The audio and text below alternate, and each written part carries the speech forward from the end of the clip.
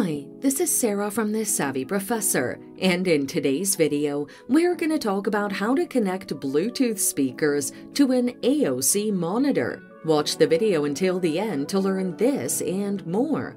First, ensure your AOC monitor supports a Bluetooth connection by going to Settings or checking the manual booklet.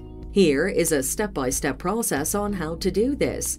Turn your Bluetooth speakers on and have them in pairing mode. Press the search bar on your AOC monitor and type Bluetooth.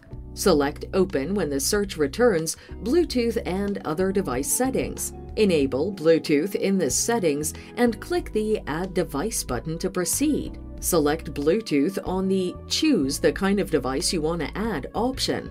Click on your speaker's name once discovered and select Done. You can now play music or listen to audio through your Bluetooth speakers. If your AOC monitor doesn't support Bluetooth connections, use an external Bluetooth adapter. Plug a Bluetooth audio transmitter into the AOC monitor's audio output.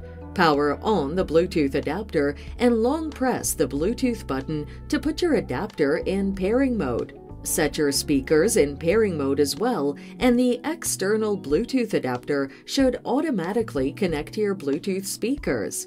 Play audio from your monitor to check if the connection succeeded.